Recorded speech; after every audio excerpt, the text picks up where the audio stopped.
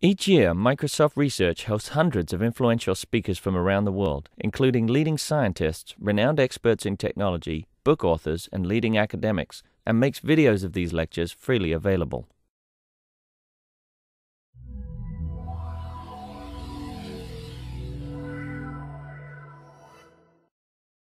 Uh, good morning. Uh, I'm very delighted to have uh, Professor Tekin Ozsoyoglu from Case Western Reserve University here. Um, so I met Tekin, uh, I think 17 years ago, uh, when I visited Case Western as a grad student uh, looking for a job.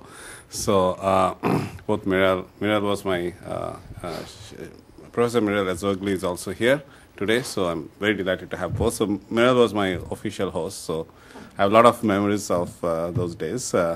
and Professor Ozsoyoglu is um, has been a very senior uh, faculty member at Case Western and has been a contributor to our community for very many years. Um, he, is, uh, he did his PhD from University of Alberta, uh, Edmonton, and uh, his current research interests are around uh, databases, bioinformatics, and the web. So uh, today I'm going to learn something that I don't know. I know nothing about you know the bioinformatics area broadly, so it would be an education for me. So please.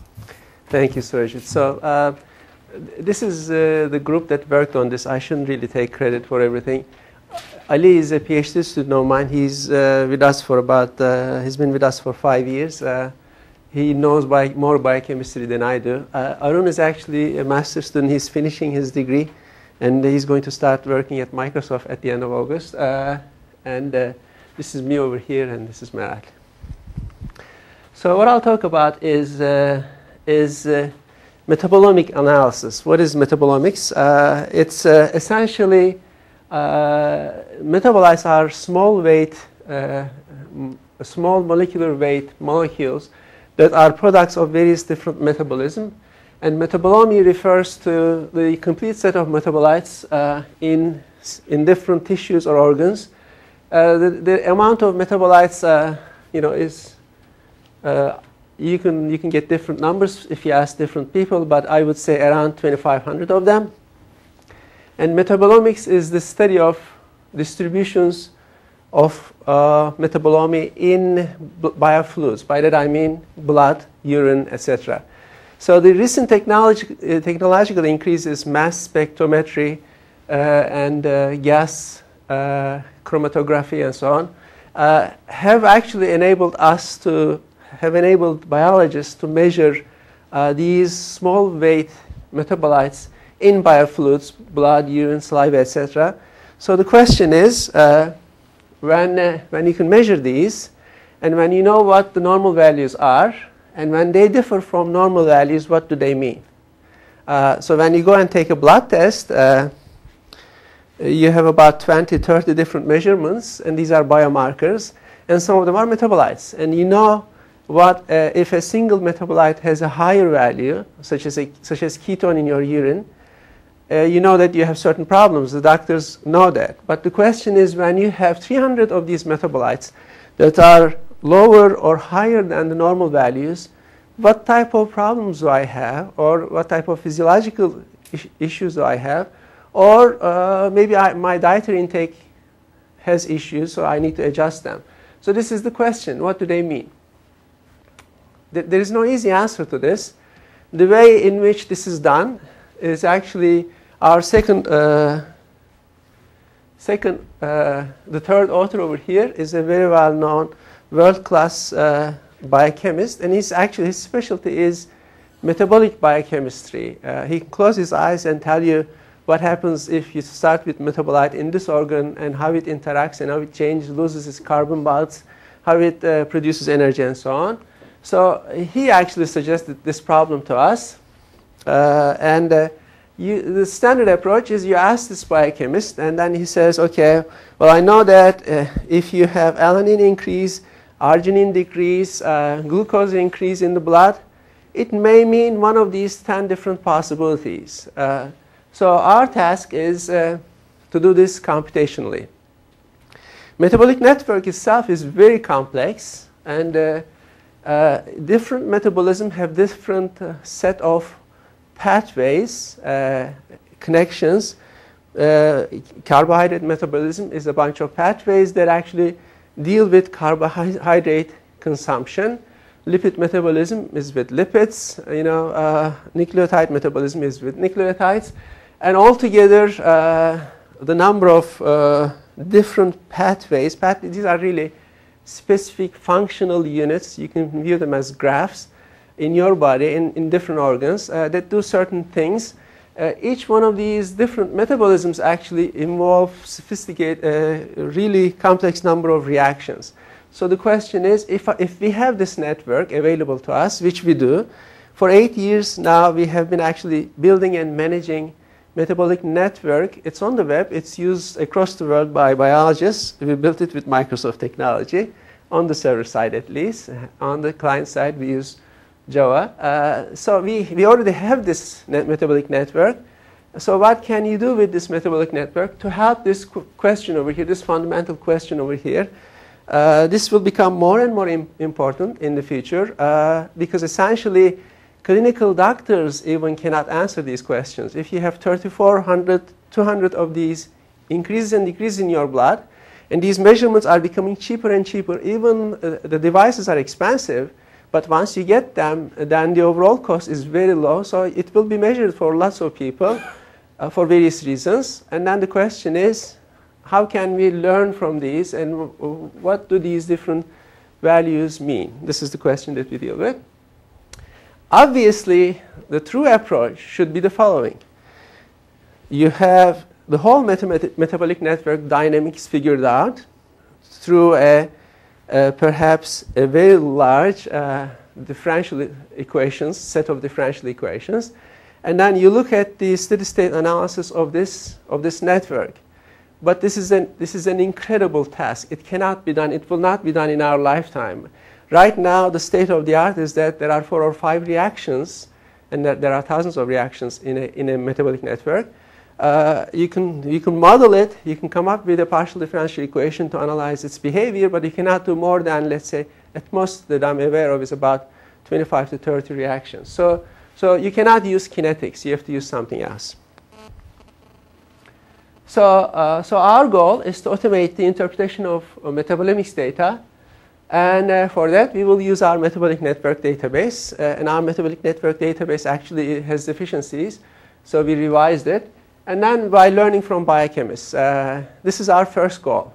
And if we can achieve this in the next three, four years, the next goal is to actually move forward and do more uh, along the lines of data mining, along the lines of uh, doing computational things. Uh, one of the problems that we encounter these days is, you know, I have been using biochemistry for about seven or eight years, but even with that, I say something to my biochemist, to Richard Hanson, he's a great guy.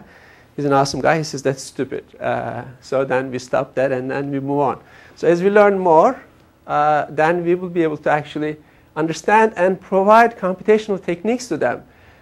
This approach that, we that I proposed over here, Richard Hanson for nine months said it cannot be done. And then when we did it, he said, oh, it's beautiful. Let's work more on it. Uh, so, so we keep working on it. Every week we get together, we try to improve it. So we would like to answer questions of the type, what may have led to the increase or decrease in the concentration of a metabolite. So the way in which these measurements are available is uh, most of the time is with respect to a control subject. Control subject is a normal person. And then uh, and there is this person uh, whose measurements are, they differ uh, from the control, control subject's measurements in, term of, in terms of the concentration levels of the metabolite. Uh, uh, so are there any alternative hypotheses or scenarios? And we can produce this. Are our results consistent? I will define what I mean by that. And then can we uh, verify and score these different alternatives? The, the, way in which we will define the hypothesis will be essentially a path uh, in a graph database, uh, starting from blood measurement of a metabolite, ending with the same blood measurement of another metabolite, and then looking at increases and decreases. We will look at perturbation analysis, uh, we, we, no, we make no claims about steady state behavior of the system. We are just saying that if, you, if, if there is an increase of this metabolite, there, there is a temporary increase, uh, perturbation in this metabolite and this metabolite in the organs. And you cannot do more than that. Uh, with humans, we are targeting this for humans, you cannot really look at the metabolite concentration levels in organs unless you put a clamp around the liver of a person and then squeeze it and then get the metabolites out. You can do it for mice, uh, and unfortunately for dogs, but no more than that, yes. But. Just to clarify the scenario a little bit, uh, you, you, were talking about comparing this to sort of normal, normal, uh, normal yes. state of uh, a person. How much variation is there among individuals, and uh, how much is sort of normal variation over time for a single individual? Is, is that understood? Or? That's not understood at all. Not at this stage. This is really this is really the beginning of this technology. Uh, uh we are at the really forefront of the technology where it will be extremely important in, for nutritional purposes into the future.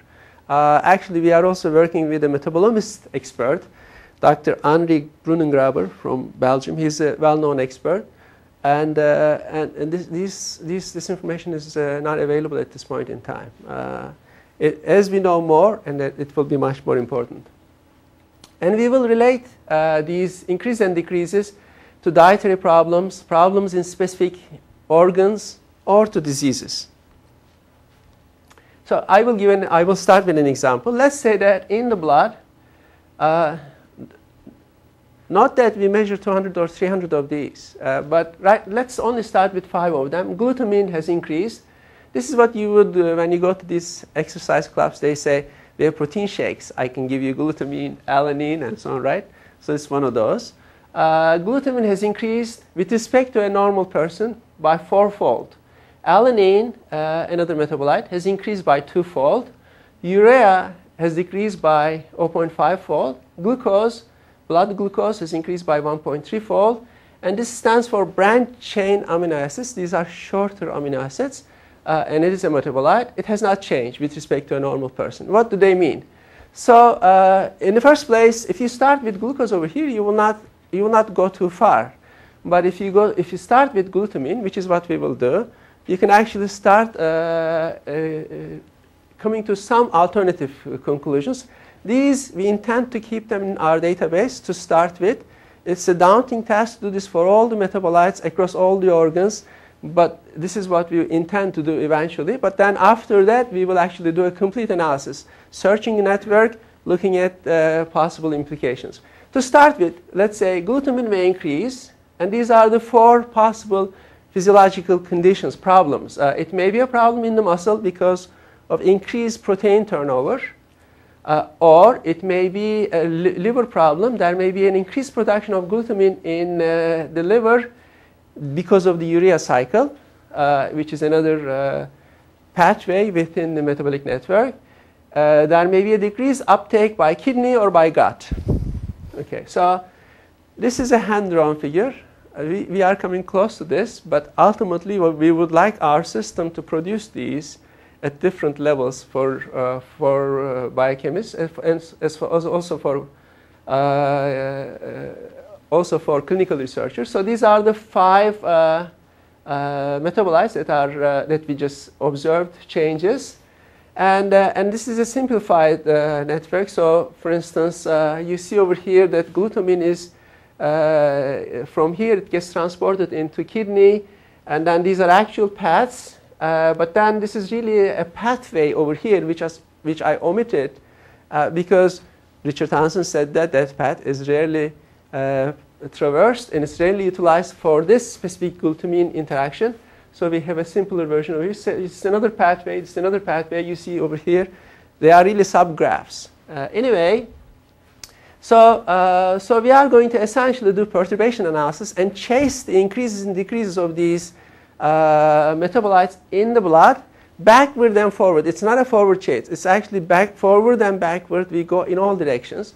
Uh, it will become clear what I mean uh, in a minute. So uh, the way in which we will do this is, uh, again, we are following what Richard Hanson told us that we should be doing we are, he said that when I, he does consult, consulting work for metabolomic companies. This is big business. And uh, they, they measure these things and then they say, uh, what, what kind of problems should there be for these measurements? Tell us. And he looks at them and he says, the way I do it, I know that I have some patterns. Uh, if glutamine has increased, alanine decreased, and uh, I'm just making this up, uh, arginine has increased, then it, it's likely that these are the problems because he can close his eyes and go through these networks. I'm not kidding. It's, he's amazing. On the board, he immediately starts drawing reactions with all the catalyzing, with all the activators, inhibitors, and so on and so forth. So uh, he says that uh, we look at, I look at, I, I, I define a pattern as a set of metabolite changes that may be related to a physiological condition. So this is one metabolite change, ketones in urine. Uh, if you have relatives that have ketones, uh, we do. Uh, and uh, if you have relatives that have diabetes, you would immediately recognize this. Uh, uh, if you're not controlling your diabetes well, you will have ketones in your urine. These are actually short, these are energy units. They are actually lovely. They are really needed for your body but they are not good if they are uh, being excrete, uh, excreted by your body into your, uh, into your urine. That, that, that, that, means that you have a problem. And, and also, if the blood glucose is about 200 millig milligrams per deciliter, then in all likelihood you have diabetes. So this is a pattern, a simple pattern. This is known by doctors. Doctors actually look at these immediately and say, aha, this patient may have, may have diabetes. So this, this is what we will make use of that uh, in, in, our problem. These four patterns actually are the patterns that he uh, told us, uh, which we discussed, right? Pattern P1 is glutamine increase, protein turnover, muscle, liver problem with urea, cycle, and kidney and gut problems. Uh, so the way in which we co computationally verify this is, is, is by chasing this. Uh, for instance, let's start with this. Glutamine has increased in blood assuming that the transport mechanism is one-to-one, -one, in other words, uh, increase of this glutamine means that it was produced in the muscle more, and therefore it was excreted into the blood more. This, this is a very simplistic view of the transport mechanism, but this is what we will use. And this is what actually metabolomics researchers use at this point in time. Uh, they are a reasonable, they form a reasonably large community. They have, every year they have a metabolomic conference, uh, metabolomics conference and, uh, and actually we will present this work over there as well. Uh, so glutamine in blood has increased. It's because perhaps glutamine is, is increased in blood. And you see that glutamate, uh, another metabolite, uh, has increased. It's, it's produced more, and then it's, it's resulted in glutamine increase. And then following this, uh, glutamate, glutamate increase is because branch chain amino acids have increased. And this immediately means that there was a protein turnover over here. This is the problem in, in muscle. Uh, so then obviously you can say, hey, why didn't you go through this path rather than this path? Uh, we didn't go through this path because uh, even though the, the, kinetic models are not available through you know, years and years of biochemistry research, biochemists know that um, this is ammonia. Ammonia produces very little glutamine. The ammonia, ammonia amount in your, in your muscle is very small. Uh, whereas uh, uh, most glutamine production doesn't come from here, it comes from here. So this is an important observation. We will model that into our, into our system. So, uh, so essentially, this is actually also hand-drawn, but we actually produced this uh, uh, on the fly. glutamine has increased in blood. This means that there is an increase. There are four possible options. Perhaps glutamine has increased in muscle, and then uh, this is caused because glutamate has increased in muscles. muscle. These are abbreviations for these uh, metabolites. And glutamate in uh, muscle has increased because branch chain amino acid has increased. And this is because uh, there was a protein turnover. But look at our original observations. Our, our original ob observations said that branch chain amino acids have not increased. So this is a contradiction. So then that means that what we have observed cannot be because of protein turnover in muscle. This is exactly how we proceed.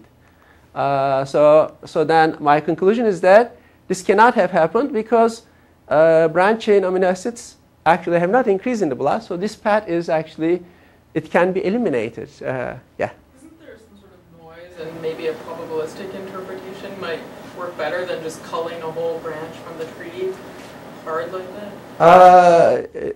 No, the, the, I mean, uh, it's not really noise. Uh, it, it, these, these paths are very well known. Uh, I mean noise in the sense that you say there is no change, but what does that mean? I mean, presumably there's always some amount of change. So, so okay. All right, that, that's a very good question. Actually, uh, these the techniques, these high energy physics equipment, uh, mass spectrometry, and so on, actually use very sophisticated software tools. Uh, and actually, if you change the uh, the device that you use from that uses this technique versus this technique, like uh, move from mass spectrometry to gas chromatography, you will have variations in there. Yes, that's true.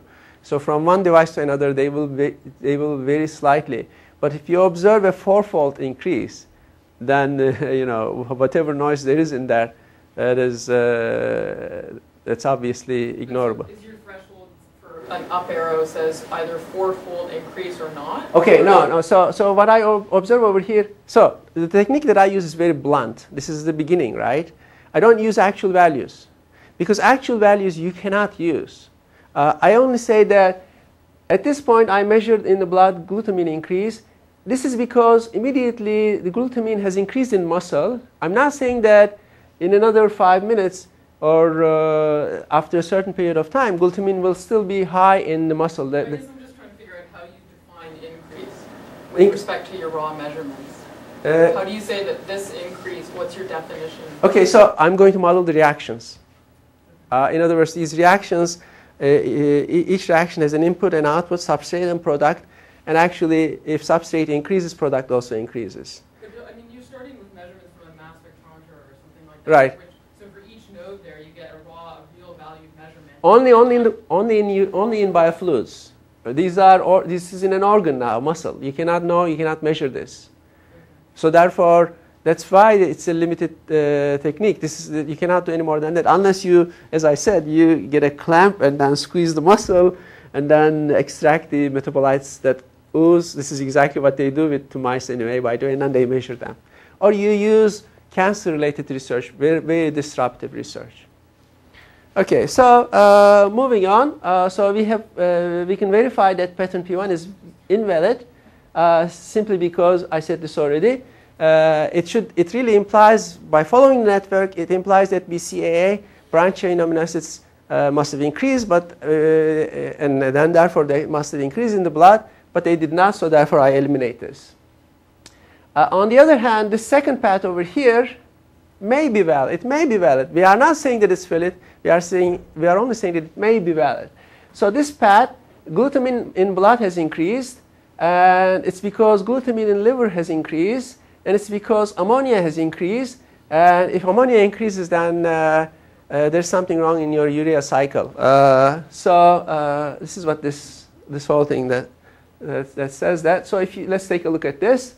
In uh, uh, glutamine has increased, uh, but you- see that glutamine is produced by liver and released into the blood. Uh, and uh, glutamine increase uh, maybe because of NH3, uh, ammonia over here. And ammonia is actually consumed by the urea cycle. If the urea cycle doesn't consume ammonia, then there's an excess ammonia over here and it results in larger amounts of glutamine, glutamine and then therefore you've observed larger amounts of glutamine. Yeah. Just to clarify, at this point in your work, you're just sort of classifying as increase or decrease. That's You're it. not actually worrying about the actual amounts. so. Right. The. The whole metabolomic society at this point only deals with uh, uh, for normal people and for uh, uh, with only increases and decreases. You can actually go to actual concentration values if you are doing cancer research, and you can actually do measure things uh, in cells, obviously not on cancer patients. Uh, Even with that sort of rough level of modeling, you can still get useful results. No, i- actually, if you look, if you are actually looking at cell, you can actually observe within a given cell uh, metabolite concentrations and pools, and then then what what they do, and they actually try to. Some of them actually they do dynamic analysis. They define, they do uh, they fit it to a set of differential equations, and then they pass judgment on the on the basis of the fact that if you have a, uh, a colon cancer, this colon cancer cell behaves this way to this drug and so on. But not, not for uh, regular patients. I mean, if you are getting your blood measurements, that's all you have. That's all you have, yes. Is there an abstract problem statement which can come up with which is independent of metabolites but which you apply to metabolites? Is there Okay. Yeah. Uh, you know, seven years ago when I started this, this is exactly what I asked uh, my genetics researchers. Uh, yeah, I, you can, I can, I can abstract it to you. I will abstract it to you. But whatever it is that I do will be very uh, faithful to the underlying biology. If it's not faithful, then you're faking yourself. Uh, I, I had a meeting with Richard Townsend. He's a great guy, and I had I said this I, had this idea about an extension of this, and I said I'm writing a grant proposal busily right now. I need a copy. I said, Richard, can we do this? And he looked at me. That's that's he said that's BS. You should never go that way they will immediately kill your proposal. The biochemists will kill your proposal. I threw it away right away. In other words, whatever abstractions that you have has to be extremely faithful. Also, you, you can't speak in naive terms. You know, when you have a reaction, you don't talk about an input to the reaction, an output to the reaction. You, are, you have to talk about a substrate to the reaction and a product to the reaction, activators and inhibitors, and so on. Okay, so uh, moving on. So I actually, wait, well, okay, I think I'm going to go back. So this actually, so we, all we do is, given a possible uh, uh, set of hypotheses, we invalidate them and link them to physiological conditions. I think I need to go a little bit faster because the example is taking, it has taken half an hour. And, uh, and then we can, uh, we, those we cannot eliminate, they may be valid. We are not saying that they are valid, they may be valid. So I'm going to skip the third hypothesis. Actually, the third hypothesis that there's a problem in uh, uh, uh, this was, I think, uh, this was Uh, this was gut, I think, uh, and then P4 must be kidney. You can invalidate them as well. You can eliminate them.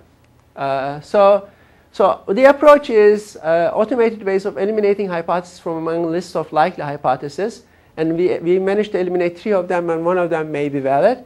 And a broader approach is actually enumerate all hypotheses. Remember I said that this is not a path that's taken frequently in, in, in, in your muscle. Your muscle, has very, your muscle has very little ammonia, so therefore glutamine cannot have been produced in significant amounts in, uh, to, uh, through the ammonia. Uh, so therefore, that's a, that's a path that you need to take. But if you are sick, actually, if your body is under stress, your metabolic network is very flexible. It starts compensating, and it's not how it compensates is not understood it is indeed possible that, well, ammonia is the wrong example, but some other path may be active, may become active because you are sick. So then all bets are off. Uh, so anyway, uh, the broader approach is to look at all hypotheses and provide them to the researchers. Uh, if you look at all hypotheses that are M valid, uh, with 300 measurements, you can go down to about 200 hypotheses, uh, which is still large. So let's take a look at the uh, abstraction. This is the abstraction now. Now we are there. This is a metabolite which this is an input to this reaction. Each reaction is, is catalyzed, controlled by an enzyme, which is a gene product. And then uh, it produces this uh, metabolite. So M2 is metabolized into M6. And if this has increased, this has also increased. I'm sorry? M4. What did I say? Oh, I'm sorry, M4. And M4 is a substrate or input to this reaction catalyzed by this enzyme, and then it produces M6. So you see that this these two reactions use the same substrate, same input, whereas uh, over here or over here, this reaction uses two inputs, two substrates, and they are called co-substrates. This is a simpler model. In, in reality, this enzyme over here is uh, controlled, the effectiveness of the enzyme is, is activated or inhibited by activators and inhibitors that complicates this model. We model them as well, but I'm not going to talk about uh, in this talk. So the way in which we will talk is if it's, this is a river. Uh, so M2 is upstream to M6, and therefore M6 is downstream to M2. I'm, i will uh, repetitively use this terminology. Uh, so this is, the, this is essentially a graph network, right?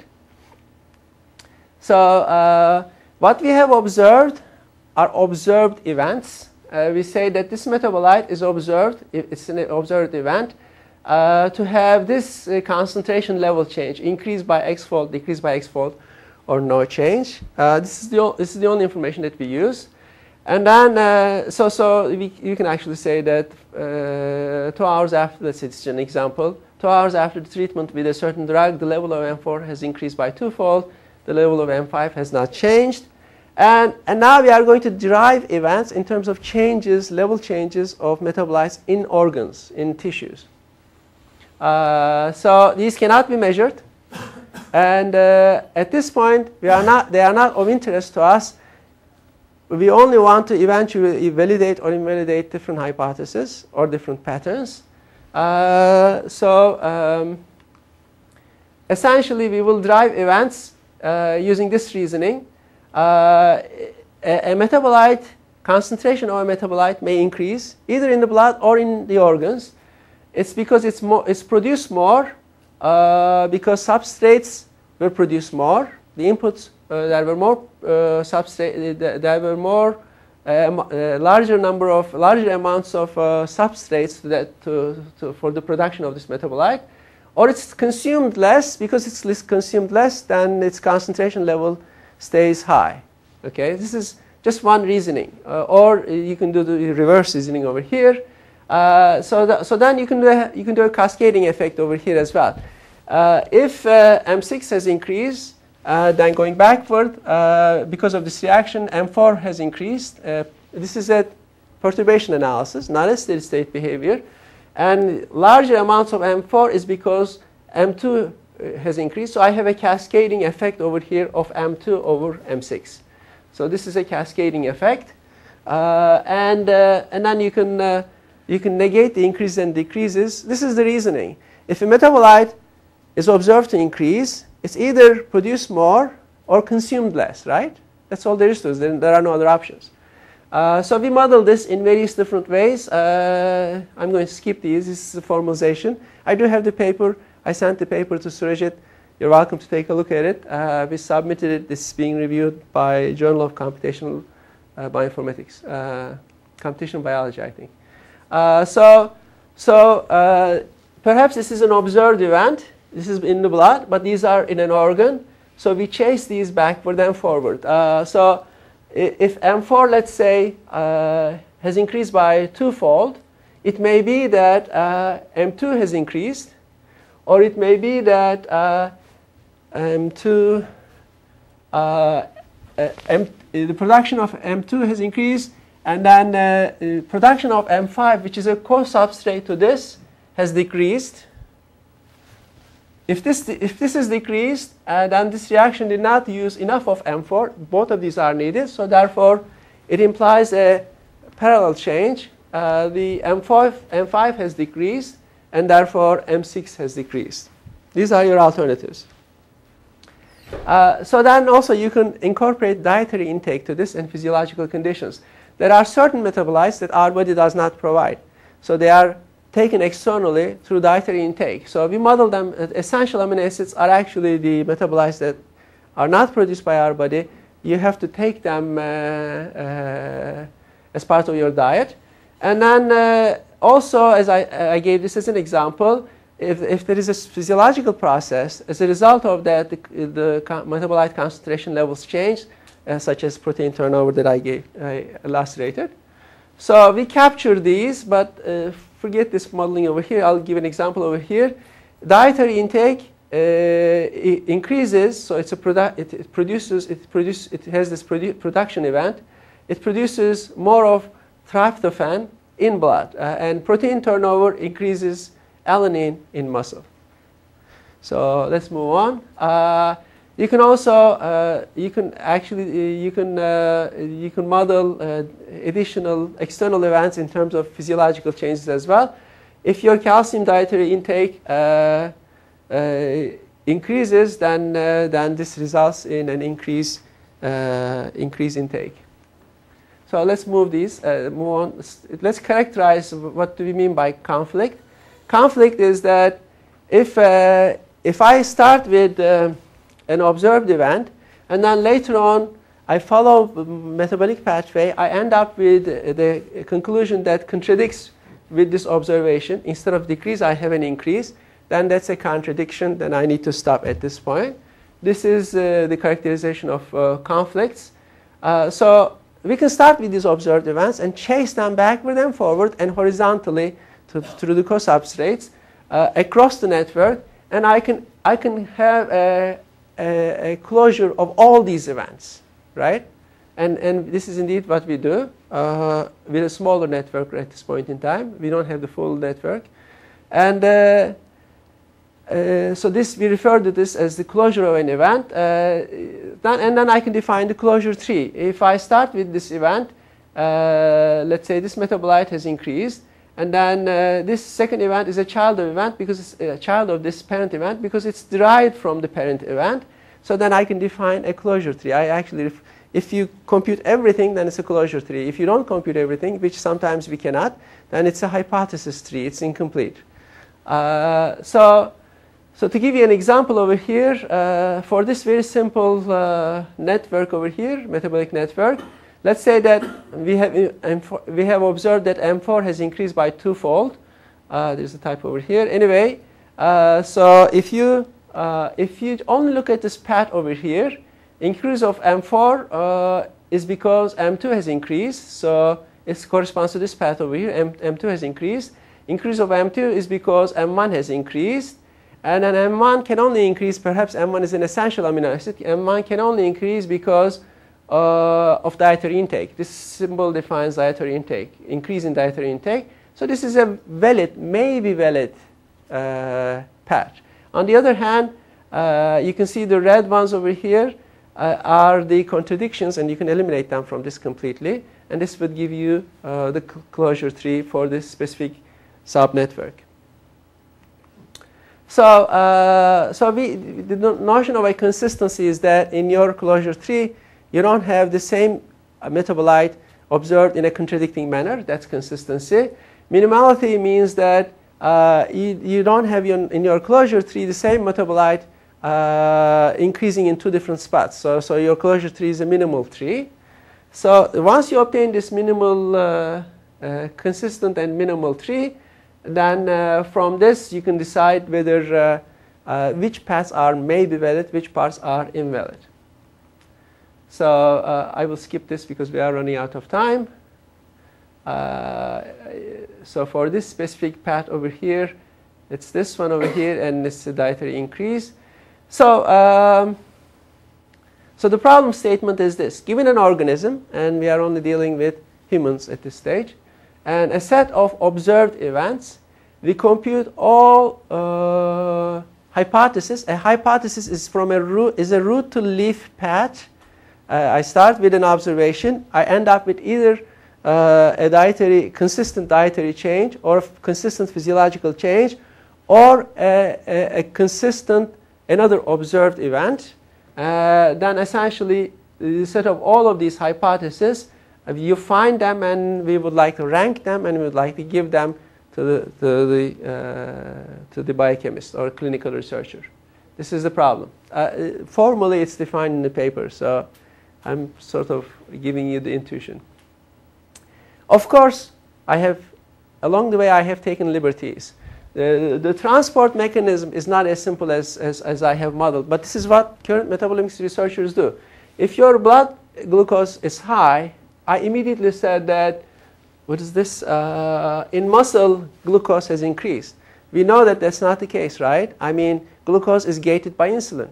Glucose transport process from blood to an organ is extremely complicated. It involves five or six different mm, uh, types of cells uh, on your pancreas. Uh, it's, uh, it, it, involves four or five different mechanisms. But uh, modeling, so we cannot really model this, but I simply, uh, what we are proposing as the next stage of our development is actually define possible eventual conditions over here for glucose to be transported into a tissue. Uh, this we can do, and that's what we are planning to do next. Uh, our current transport uh, mechanism is essentially if you observe an increase, then there is an increase in the in downstream or there's an increase upstream in related organs. So these details, I will skip that. Another issue that I already mentioned to you, uh, the dynamic analysis is called flux balance analysis in, in biochemistry. This is, a, uh, this is a very complex and difficult process, but through years and years of research in humans, as I said, uh, if uh, the, the biochemists know, for instance, that if arginine uh, is, is, uh, is produced in a certain organ, arginine is consumed more into, uh, into, the, uh, into a urea rather than through this reaction into a, a into a uh, guanidinoate acetate over here. So actually I can say that arginine consumption, metabolizing arginine, is more on this path rather than this path. The numbers are rather uh, arbitrary because it's not known. Uh, only a truly metabolic biochemistry specialist can really tell you something that's close to this, but it's rather arbitrary. The point here is that the, in my closure tree, I can actually rank these paths because of this knowledge. That, that, that this, this, the likelihood of this happening is more, likelihood of this happening is less. So we incorporate this into our system. Uh, physiological conditions I will skip. Uh, we actually do, another thing that we do is expat-like analysis. Uh, we actually look at these different hypotheses and then if a, if a subpath occurs in these different hypotheses many times, many, many times, then we say that this is perhaps a more likely subpath. Can you, you make use of this? We give this to the bio, uh, biochemist. Uh, this we do at this point in time. So therefore, we percolate these hypotheses up in possible hypothesis list uh, or M-valid hypothesis list. So we do some summary analysis in that sense.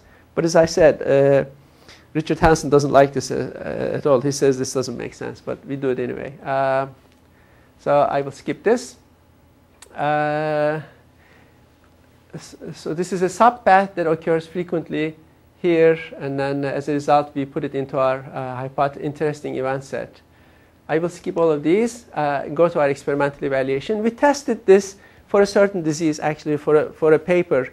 Uh, in clinic, clinic, there's a researcher, uh, and, uh, and we, we use his data and validated our approach, but his paper is not published. And we're not allowed to discuss this, but essentially uh, his data had uh, much more than 34 uh, metabolite measurements, but we only used 34 of them because our database is a prototype database at this stage because our original system that we managed for seven years does not have location information. We don't distinguish between organs.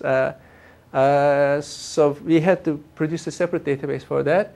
So therefore, we have a small number of uh, pathways uh, and the, the, pathways that we have uh, altogether, I think we have 50 pathways right now.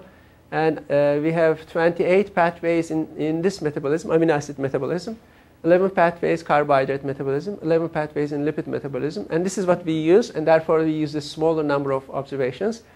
Uh, and, and this is the data that we have used. We abstracted the actual increases with increases and decreases. This is real data, as I said. And with this data, uh, the number of hypotheses, remember that we go backward and forward. At any node, we go backward and forward, backward and forward. Uh, so the number of hypotheses with our 50 pathways uh, went up to 130,000 different hypotheses. We eliminated uh, the invalid ones. Uh, the M-valid ones uh, stayed at about 3,000. but then I'm sorry, 30,000. 30,000, yeah, 30,000. Uh, and uh, the maximum hypothesis length was 70. And, and 70, when I showed, when we showed this uh, to Richard Hanson, Richard Hanson said this is totally useless. Uh, hypothesis length of 70 is incomprehensible even to the expert biochemists, metabolic experts. Uh, so we have to do something better. Uh, so this describes how we eliminated in different types of metabolism. But we um, the number of uh, using the observations that, the, that we had, remember the observations, the patterns, uh, we achieved 95% reduction with 30 measured metabolites. And then we increased the metabolite, when we increased the metabolites to 80 metabolites, uh, we eliminated about 99.9% of the hypothesis down to, we went down to 300 hypotheses. But th these 300 hypotheses is too much as well. I mean, it's humanly not possible to interpret 300 hypotheses. The goal is to take it down to, let's say, somewhere 20, you know, top, top k, where k is 20 or something, so that they can interpret these. And that's what we want to do. And I think we can do it if we can model the patterns more and more. Uh, Uh, so um, when we use, use, summarization, I said these are expat like, like uh, subpaths in metabolite, the metabolomic network. Uh, we actually reduced uh, uh, the, the total number of hypotheses by 99%, even with 34 metabolite observations. so um, I will skip this. as I said, this shouldn't have been here. I'll skip these. Sorry about that. We use it actually for, uh, for this specific, the data came from that. Uh, so this is our system. This system is actually a revised version of our system that's used, uh, uh it's a production system. This is a development system. Uh, it's at this site. This is our development server. Uh, so these are the pathways processes. You can browse them and so on. Our current system does that. The new part that we built for this research is this consequence prediction. So uh, you, users can upload their observations as an XML file. Uh, there's a sample over here that they can use actually. Can, we have a sample, we provide a sample. And then uh, they may actually, or they may manually increase, add, add whatever, whatever they observed one by one. And then when they do that, uh, uh, then, uh, and, and also we use Ajax technology over here. We actually provide what's available instead of all the metabolites. There are, there are 2,500 metabolites. And then we, we may actually specify them one by one in a, in a, specific organ. So this is, let's say, after uploading it, this is what you, we have, uh, what's uploaded by the user. These are the metabolites. These are the actual changes. And then uh, you can choose whichever one to be your closure tree for uh, exploratory query. I have 10 minutes, slightly less than 10 minutes, moving up. Uh, and then uh, when you click Generate Observation Supported Hypothesis, it produces this. Uh, you can save them. These are, these are actually these are our paths, starting in, uh, with glycolate in blood, glycolate in liver, colate, colate, glycolate biosynthesis in liver, and so on and so forth. Uh, this is what Rich Dawson says, useless spotting of pathways. Uh, and then we visualize our system. We, this is also available. You can zoom in, zoom out, and then do lots of things. This is a, this is a revision of our visualization in, in biological uh, pathways. Uh, this, we actually, this, this is a new addition to our current system. It's, it's being worked out. Uh, as I said, all the metabolic network data sources on the web, highly respected WineKeg, we are licensed to use their KEGG data they never distinguish between liver and muscle because and they have to distinguish between liver and muscle because the same you see that you, you, this reaction over here this pathway occurs in liver blood and muscle. It, uh, and there are other pathways as well. So we visualize this and then we do the consequence prediction with this tool. Uh, what, what have we done? We have actually uh, modeled the observed uh, measured metabolite changes. We, we chased them in the metabolic network across different organs using a rather simple transport mechanism. And then we, even with that, we managed to eliminate a significant amount of hypotheses. Uh, and, uh, and we have also, as I said, remember 0.9 and 0.1, this path is more favorable than this path. That's actually called flux ratio analysis. So we incorporated flux ratio uh, the limitation of the system, of course, it does not use, utilize the exact amounts. But util utilizing exact amounts is only possible with full kinetics, and full kinetics it will not be, I don't think, will not be discovered in our lifetimes. Um, so I think I would like to stop here rather than say more things and then maybe answer your questions. Yeah, Bill. Are there any um, competitive systems that are doing this kind of metabolic pathway analysis? Absolutely not we are the first.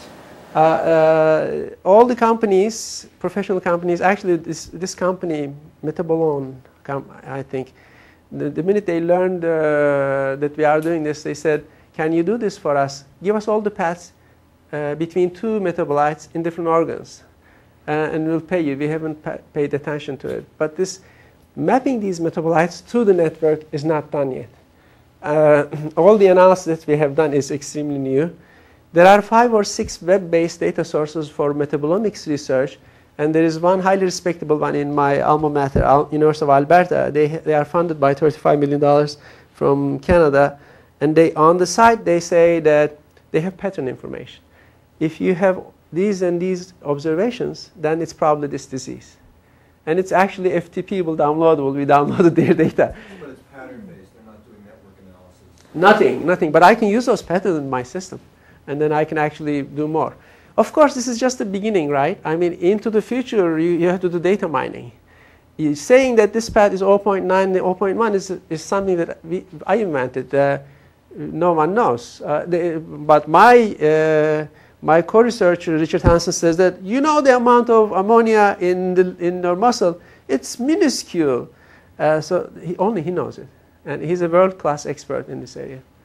Mirai, you have something to say? Can I just add something? I think this is motivated by the fact that uh, it's very easy to measure so many metabolites in a simple blood test in the lab. Yeah. But then nobody knows what to do with all this data.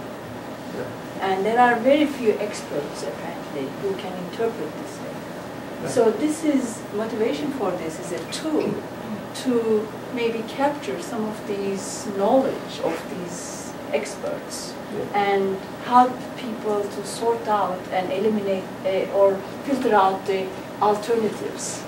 Uh, there will be, of course, lots of false positives in the results of this. But the idea is just to limit the uh, scope so that maybe there will be meaningful conclusions.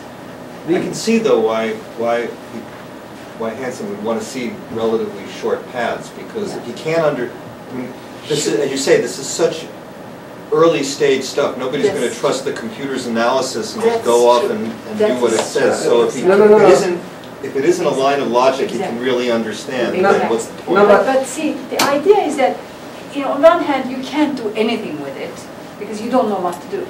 On the other hand, you have a maybe smaller scope. And as there are more data uh, embedded into this system, it will pro- produce better results. But this is a very early stage of, of the data. Our cancer researchers, we have a cancer center. They are funded by another $50 million a, a, a- over five years. Our cancer researchers went crazy on this.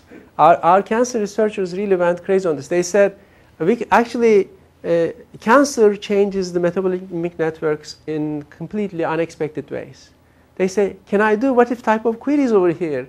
This path that's not insignificant suddenly becomes insignificant. You are a cancer patient, suddenly your uh, muscles are collecting uh, ammonia because you have cancer. So what does it mean? How can I fix this? So this can be used for cancer, but we are way early for that, maybe in another 10 years. Well, this, as you said, this is, this is sort of early days, and, and the question I have is, the level of modeling that you're currently doing, the level of analysis are you beginning already to get useful results? Can you narrow it down to Right. sufficiently small So- number of Right, hypotheses? right. or- So, so, so th- there is one example that we did all the experiments and then we said we cannot, we were, we were told, we are told not, we cannot use it. Uh, the, there is a certain disease uh, and there is a researcher uh, in Clinic. uh, His results, his observations, his conclusions, we produce them. Once we have them as patterns, we produce them. Among those, among those 300 uh, hypotheses, we percolate to the top his observations. But, but we can't do more than that, right? Ultimately, it has to be interpreted by someone who's an expert. He's, he's studying actually fatty liver disease. Well, you're not supposed to say that. right, anyway. No, but my, my point, my reason I was asking this was, was basically is, uh, the way you're, the, the- research that you're now, at what stage is it? Is it at the stage where it's beginning already to produce sort of useful results? Right, so- much So we are cooperating with uh, Henri Brunengraber. He is doing cancer research, co- uh, colon cancer research. He's in the Department of Nutrition, uh, and he's is uh, he is a very well-known metabolomics researcher. So we are trying to match our system whether it's producing results consistent with what he has with the colon cancer cells. We just got the data and we are working on that. But the one that we verified is the one that Maya said. We literally found the right ones. Uh, you had a question? Can you take the output then and just say, um, you know, if, if I just had these two additional tests, I could, you know, reduce the output a lot more? Uh, n- no, I mean, we really use all 34. Uh, If you had additional tests to run. you know, Predict to get a- additional tests. Sure. right, right. In other words, uh, uh, That's a good extension. The, the, uh, the other At extension, point, we can't, but it can be done. it can be done. Yeah. Uh, ultimately, the goal is this. Uh, You know that when you when you look at cholesterol, I think we need to stop in, right? ultimately, you know that your, when your cholesterol level is high in your blood, that's a biomarker.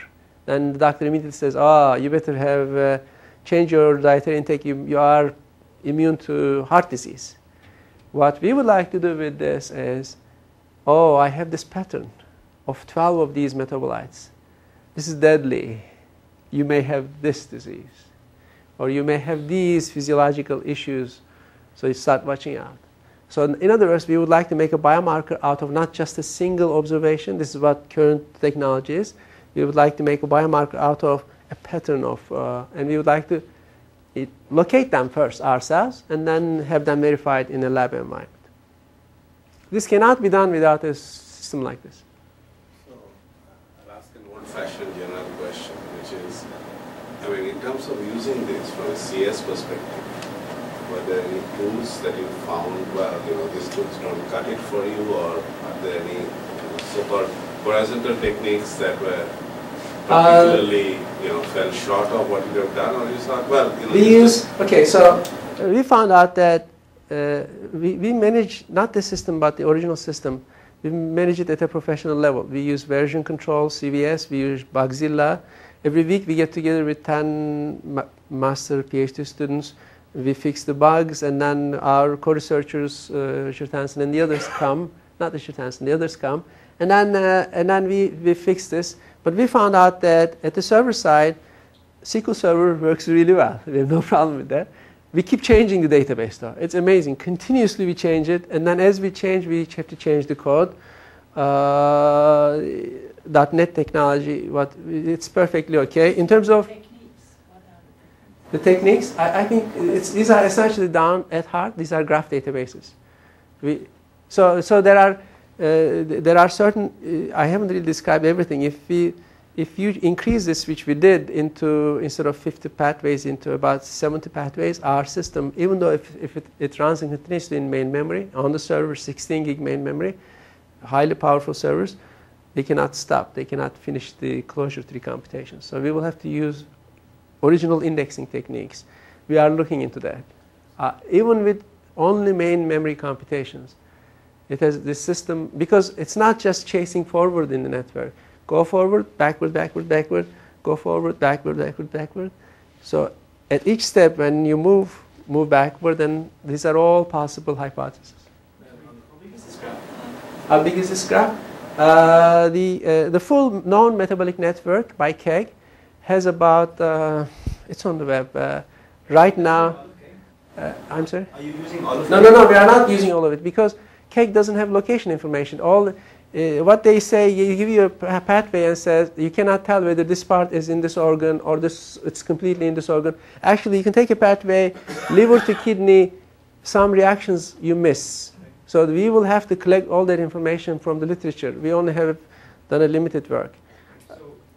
This, uh, the number of pathways altogether across all the metabolisms, the KEGG right now has about 140 pathways. The largest one has 150 reactions. Uh, and they have it across all organisms. And we, we have it, we make it available on the system. If you, if you type PathCase, you will reach our production system. And, and we built that over seven, over seven, eight years, uh, PathCase, right? I understand. I mean, I just want, want to know how many nodes, how many edges. Uh, so uh, we have it the, in the first page. I think we have about I think we have about uh, 25,000 metabolites in that full network. I mean, I don't know the exact number. It's listed. It keeps changing every three months. We download a new version. We up change it into change our database. So, last question I had on the horizontal side is supervised learning? Uh, we, we don't use any supervised learning over here. Around this, uh, okay, so so uh, so this is uh, there's not much to do in terms of uh, machine learning. Observations like at some point. Right. Into the future. Yeah, yeah, into the future. We around PathCase, we, we, we did work on protein annotation, protein network annotation. Uh, we published it in RECOMB and ISMB. Uh, protein annotation, we use machine learning, supervised learning. Uh, and, uh, and we had extensive probabilistic models. This research is just in its infancy. Uh, but I'm hoping that once I understand it long enough, next semester I will sit and take a biochemistry course. Uh, literally, I mean, seven years I've been working on it, but next semester I'll sit down and take that biochemistry course, two of them. Or I, I cannot handle that. I will, I will audit it. I will audit it. So any, anyway, once I learn it more, you know, the main one, one of the issues is I'm too aggressive, right? I say, can we do this? And it says, you are wrong. But sometimes it's actually those, if you do it, if you do it, then he appreciates it, he changes mind. So I think that the, the problem with communicating with biologists, we found, geneticists, uh, biochemists, we found out is that the ones that we deal with are really experts. They are, uh, they are not at the same computational thinking level that we are. On the other hand, we can go off base and do stupid things as well. Great, thanks, Tekin. Thank you.